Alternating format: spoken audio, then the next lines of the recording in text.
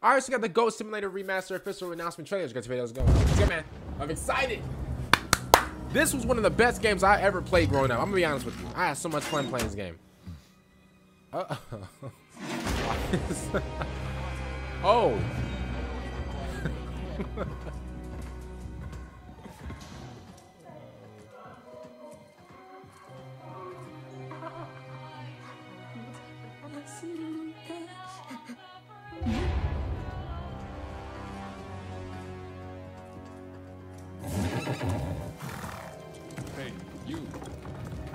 Am I on the right trailer? You were trying to cross the border. Yo, man, what's up with these horses, man? Come on. You're finally awake. Oh no no no! They're making a mockery. Why is why was the what is that is that is that meant to be GTA?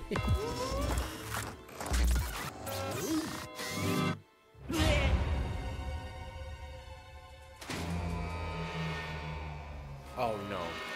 Yo, look at his neck. This has to be the weirdest, most like confusing trailer I've ever seen in my life.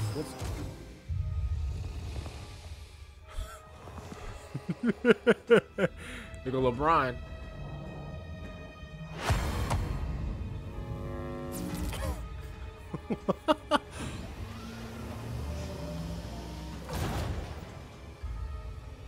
Why, bro? What is this? Austin Powers, Doctor Evil? Why is he chained up?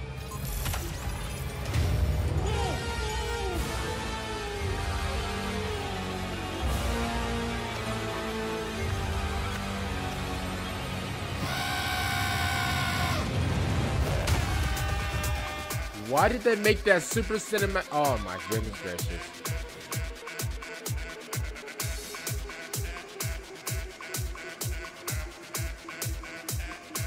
Man, man, man. This is so crazy because like, bro, we we actually have like the Goat Simulator as a remaster, bro. If you guys remember, like, bro, the Goat Simulator was such like an iconic game back then, bro. It was like so. bro, back then, bro, what console that? I think I had the Goat Simulator on. Did I have it on? A, I think I had it on the Xbox 360 at the time. Bro, like that's cr- bro. This is why, like, um, I think I was actually like reacting to like the uh, Black Ops Six mission, bro. I looked back because actually the Gamescom event, whatever, it was on the TV, and so this is like, bro, this was legit like a few days ago, and bro, I seen like the I seen like the goat or whatever. I was like, bro, wait a minute, is that the Goat Simulator?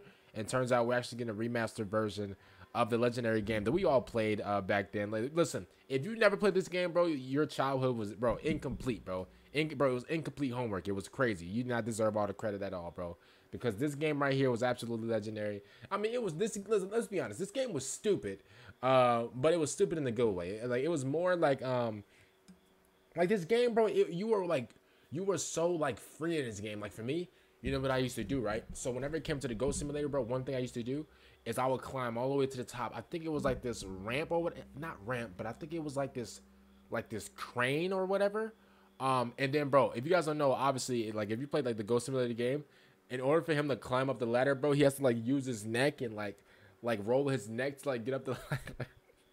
Bro, I would go all the way like to the top of like the uh like the crane whatever, and I'll just jump off. Like that's the one thing I used to always do. And then, bro, I used to always like jump in front of like you know uh like like vans and cars and stuff like that. Uh, bro, this listen again. This game was so like stupid, but in a good way, not in a like a a mean way or whatever. But this game was so like it was so confusing and just like it was so free, but it was like it, it was like it was definitely like a boredom killer. I wasn't really bored as a kid, but um definitely like if you were like you know done playing all the like the FPSs and the and the sports games and stuff like that, bro.